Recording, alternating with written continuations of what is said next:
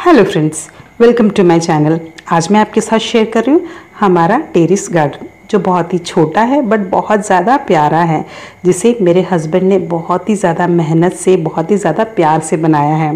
और उन चीज़ों से बनाया है, जो इजीली घर में अवेलेबल होते हैं, या फिर जो वेस्ट होता है। तो मैं पहले आपको सारे गार्डन का व्यू दिखाऊँगी, और उसके बाद इसके लिए बेड कैसे तैयार किया जाता है कम मिट्टी किचन वेस्ट और गार्डन वेस्ट के साथ। वो मैं आपके साथ शेयर करूँगी। ये है बंदा गोभी। इसके हमने बीजे डाले थे। बीजे डालकर उसके बाद इसके पौधे उगाए हैं और इसमें बिल्कुल भी पेस्टिसाइड्स का यूज़ नहीं हुआ है। जो भी इसके लिए हम लोग खाद यूज़ करते हैं, वो घर से जो वेस्ट निकलता है किचन वेस्ट उसी का खाद बना के यूज़ करते हैं।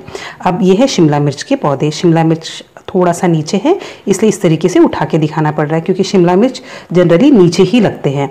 और ये पौधा दिखने में छोटे हैं, बट एक पौधे में अराउंड 15 टू 16 शिमला मिर्च लगते हैं। अब आगे यहाँ पे कूलर का जो पुराना बॉक्स था, उसमें अदरक और यहाँ पे टमाटर के बीजे डले हुए ये थर्माकोल का बॉक्स है और ये जो कूलर का पुराना वाला बॉक्स होता है, जिसमें हम लोग पानी डालते हैं, वो ख़राब होकर लीक होने लगा था, उसको हमने यूज़ किया है। अब आगे ये हैं बैगन के पौधे, आप देख सकते हैं। ये कितने सुंदर दिख रहे हैं और कितने ज़्यादा लगे हैं। मैं आपको थोड़ा पास से दिखा देती हूँ। एक पौधे में काफ़ी सारे बैगन लगे हुए हैं। इनका साइज़ भी बहुत अच्छा है और लुक वाइज भी ये बहुत अच्छे दिख रहे हैं। और इन पौधे में भी किसी भी तरह के केमिकल्स का या पेस्टिसाइड्स का यूज़ नहीं किया गया है। इसमें भी जो भी खाद हमने यूज़ किया है, वो किचन वेस्ट से बना हुआ खाद ही यूज़ किया है। मैं आपको एक बैगन पास से दिखा रही हूँ और इसमें कीड़े भी बिल्कुल नहीं लगे हैं। और इनका साइज़ भी बहुत अच्छा है और बहुत ही ज़्यादा एट्रैक्टिव लग रहे हैं। साथ ही इनकी सब्ज़ी भी बहुत टेस्टी लगती है। इसमें काफ़ी ज़्यादा बैगन लगे हुए हैं। और ये ज़मीन पर नहीं टेरिस के ऊपर है टेरिस के ऊपर बेड बना हुआ है, उसमें लगे हुए हैं। आप देख सकते हैं, इस तरीके से ईटे से इसका बेड बना हुआ है। और आगे मैं आपको दिखाती हूँ, आगे और भी बहुत ज़्यादा पौधे हैं। अब ये हो गया बैगन का, इसके आगे और ये है वॉल साइड लास्ट में हमने ऊपर कुछ रस्सियाँ भी बांधी है। यहाँ पे जो बेल वाले पौधे होते हैं, उनको लगाते हैं। जैसे लौकी है, करेला है, सेमी है। लौकी लगा था, उसको हमने निकाल दिया। निकाल के अभी तुरई और करेले के बीज डले हुए हैं। और यहाँ पे आगे, जैसे कि मैंने पहले दिखाया था बंदा गोभी है। बंदा गोभी बहुत ही अच्छे से फले हैं। अब ये ऑलमोस्ट हो गए हैं। अभी हम लोग इनको निकालेंगे। निकाल के जब इसका बेड खाली हो जाएगा, उसके बाद हम लोग इसमें दूसरे पौधे डालेंगे। अब आपको बंदा गोभी काट के भी दिखा देते हैं, क्योंकि ये हो गया है।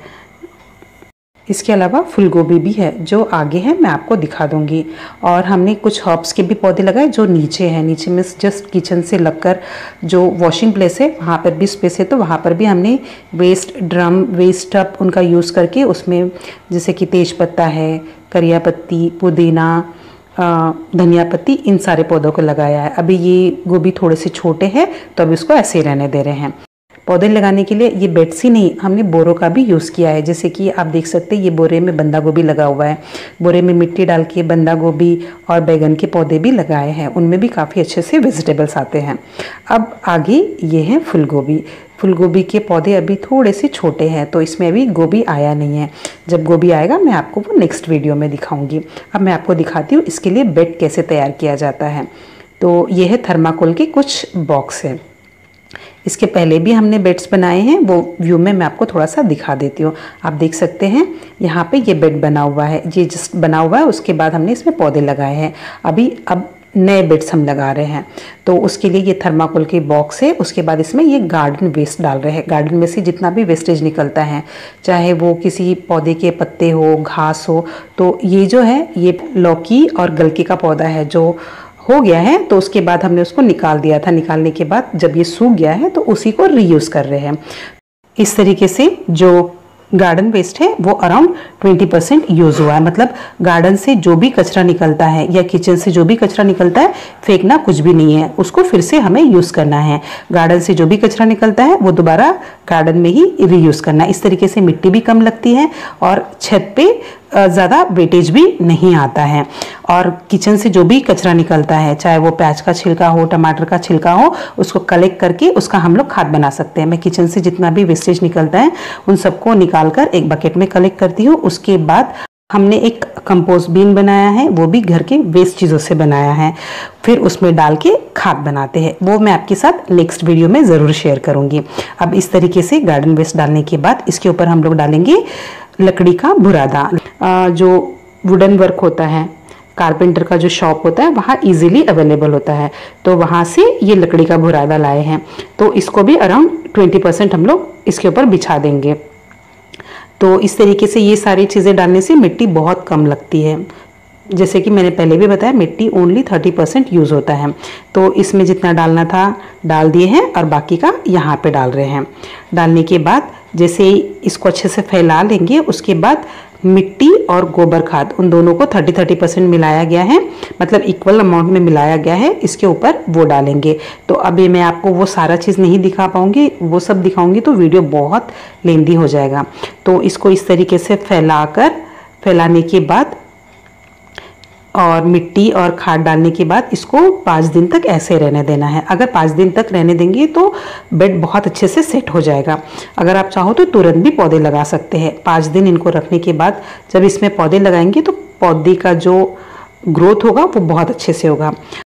जनरली जो सब्ज़ियाँ होती है, सब्ज़ियाँ या फल नीचे ज़मीन पे लगाकर लोग उगाते हैं। और कुछ लोग ऐसा लगता है कि मिट्टी में उगाने से उसमें फल या सब्ज़ी, फूल बहुत अच्छे से कम मेहनत में उगते हैं। बट ऐसा कुछ नहीं है। हम लोग टेरिस के ऊपर भी कम मेहनत में और वेस्ट चीज़ों से बहुत अच्छे से गार्डनिंग कर सकते हैं।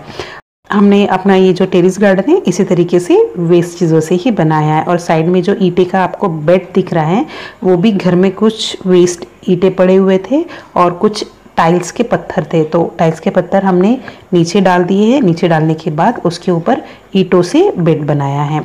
बेड बनाने के बाद बेड भी इसी तरीके से तैयार किया जैसे कि गार्डन वेस्ट लकड़ी का बुरादा, गोबर, मिट्टी सब मिक्स करके इसका बेड तैयार किया गया है। अगर हम लोग डायरेक्टली छत के ऊपर मिट्टी डालकर अगर पौधे लगाएँगे तो उससे छत डैमेज हो सकता है। इसलिए इस तरीके से अगर छोटे छोटे हम लोग बेड बनाते हैं तो हम लोग अच्छे से पौधे का केयर भी कर सकते हैं, छत भी डैमेज नहीं होगा और हमारा जो छत है, उसका अच्छे से यूज़ भी होगा। हमने छत पर ही नहीं, नीचे बालकनी में और किचन के साइड में जो वॉशिंग प्लेस है, वहाँ पर भी हमने छोटे छोटे टब बोरे लगाकर काफ़ी सारे पौधे लगाए हैं। इसके अलावा ड्रम्स को कटिंग करके हमने कुछ बड़े पौधे भी लगाए, जैसे आम है, नींबू, अनार, चीकू, पपया, मुनगा, जाम, वो नीचे हैं और कुछ पौधे यहाँ पर भी है। वो मैं आपको अभी दिखाऊँगी, जो नीचे है, वो मैं आपको नेक्स्ट वीडियो में दिखाऊँगी। नीचे जो पौधे हैं, वो भी बहुत अच्छे हैं। तेज़पत्ता, पुदीना, मुनगा और कुछ हर्ब्स भी हैं। उनका मैं अलग से वीडियो बना के आपको दिखाऊँगी। अभी दिखाऊँगी तो बहुत लंबा हो जाएगा। अब और ये जो है, ये मूली के पौधे हैं और ये जो आगे बॉक्स में है, उसमें भी अभी पौधे डाल के सिर्फ़ पाँच दिन हो रहे हैं। पहले बीज थे, बीज के हमने छोटे छोटे पौधे तैयार किए हैं। उसके बाद बेड बनाकर उस बेड में हमने डाले हैं और वो भी मूली के ही है और सिर्फ़ पाँच दिन पुराने मैं आपको नज़दीक से दिखा रही हूँ।